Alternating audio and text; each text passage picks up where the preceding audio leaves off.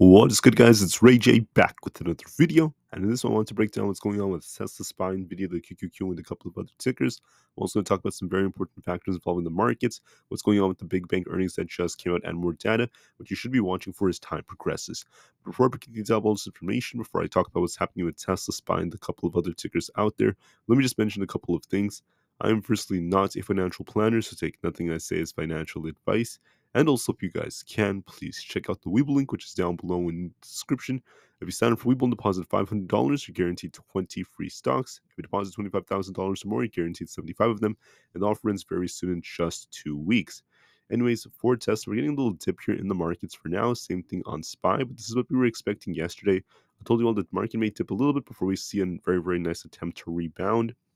And that was the most likely possibility in terms of technicals.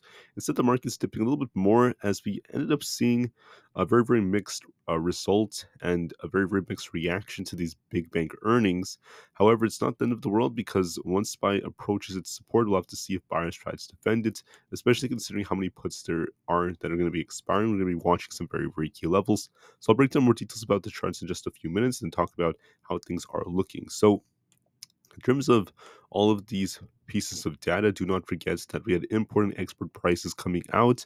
Uh, we actually saw import prices go up a little bit higher than expected. And then at 10 o'clock a.m., we have the Michigan consumer sentiment data coming out.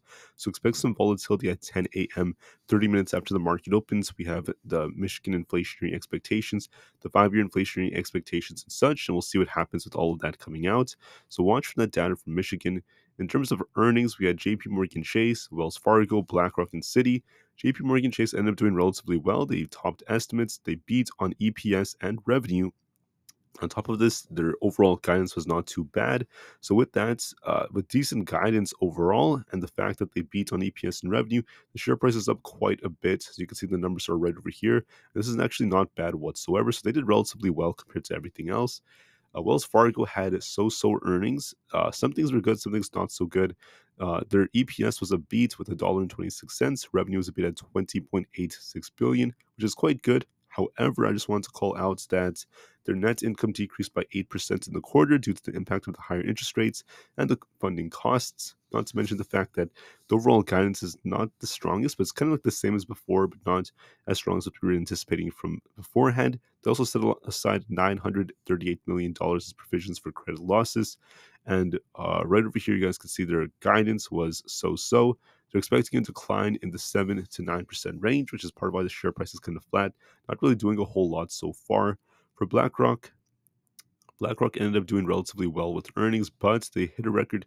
They also hit a record of $10.5 trillion in assets under management. Uh, moving forward, we did end up seeing some interesting price action. Revenue was up 11% to $4.73 billion. EPS was also uh, kind of a beat for them with about 10.48. Besides that, things were relatively well for them. And then we had Citigroup right over here. They beat on EPS, beat on revenue, but they said their profit fell 27% from a year earlier to $3.37 billion. Uh, not the best of news for them. Uh, things are slipping a little bit in terms of revenue, so things are a little mixed right over there in terms of those specific details. And the overall guidance was so so, not the strongest overall, just kind of so so in my opinion. So that's the reason why it uh, isn't as strong. So most of these bank earnings were so so and pretty good. I would say more good than bad. And I would say it's not the end of the world thus far. So more good than bad, if anything. And I would say some things are still so in terms of guidance. So that's how the bank earnings look.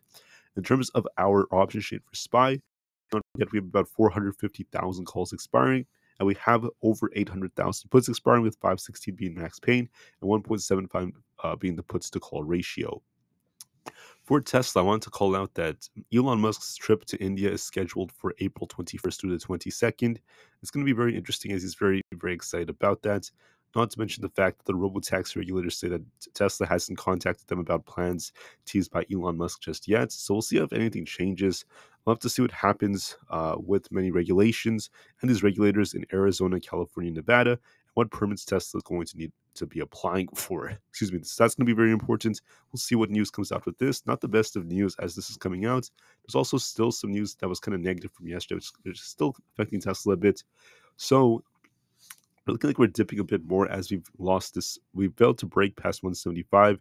Going to be looking for a very, very key retracement. If we fail to hold 172, look for 170.5. But somewhere between 167.8 to 170.5, we could see some buyers step in, and Tesla could actually attempt to rebound once again later on during the day, depending on what the reaction is to the Michigan Consumer Sentiment Report at 10 o'clock a.m. So could Tesla dip more? Yes, it can. But at the end of the day, we could see an attempt to rebound it with the market. We're dipping with the market thus far, so I'm going to be watching for this. SPY is coming down a bit, so we could retest 512.5 or so. But the last time we hit this, the last three times we hit 512.5, we did bounce. So we'll have to see if we a bounce as well off that support. If we lose that, watch for 510, but there is potential for us to try to get a small little rebound from there. So I'll be watching for that very, very carefully, if anything. So watch and see how we end up reacting that 512 area. Do we see some buyers defend us and push us back up to 515 and 516.5? And these higher levels, Max Pain is at 516 for SPY right now. So I could see us dip a little bit more and look for a re- excuse me, look for a rebound and attempt to push much higher if we end up breaking back up. Yesterday, SPY gapped down pretty hard, traded sideways, and then we saw this thing start pushing higher.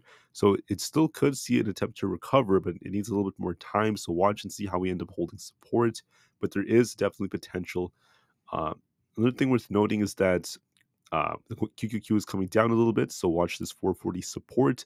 If you lose 440, look for 438, but I still think it's going to rebound at one of these retracement levels. Uh, we have our 0.618 retracement coming up as well. I just want to say that we could retrace a little bit towards 440, and we'll see if buyers defend us. The bank earnings were not massive beats overall. I would say they were kind of mixed, and we had more beats than misses, but a little bit more mixed here and there. So it, it wasn't really a smash through to help the market really rebound, but there is still potential for us to get a nice rebound later on, especially thanks to the options chain. So could we dip a bit more? Yes, we could, but look for a rebound later on. Watch and see where we base.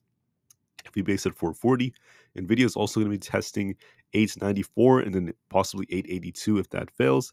Uh, it could dip a little bit more, but we're going to be looking for a nice bounce after that. So it could reach just 892 and rebound, or it could rebound right here. I do think it's going to try to bounce soon. It could come down a bit first into this uh, the 885 to about 892 range. And we're going to be looking to see if buyers defend it. We're still within the range. NVIDIA is still holding up well, so we'll see how it does from that end.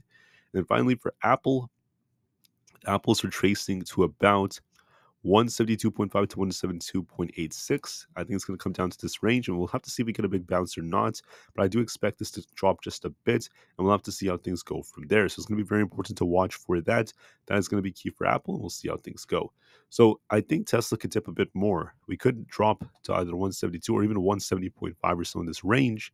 And around 170 to 168, we could see buyers defend us and try to push us right back up. So we'll have to give this a little bit more time. Now, you could also argue Tesla has a head and shoulders like structure. If we lose 168, then I would turn a lot more bearish and I'd be expecting 165. But my gut tells me it might dip a bit and we could make an attempt to rebound at least temporarily and intraday. Don't forget we have a lot of puts expiring, so give the market some time. We could dip a little bit more, but watch and see if buyers defend us because once again, it's a Friday and we could see a lot of manipulation nonetheless. All right. So thank you for listening. Have a great day. I'll see you guys in just a few hours and peace out.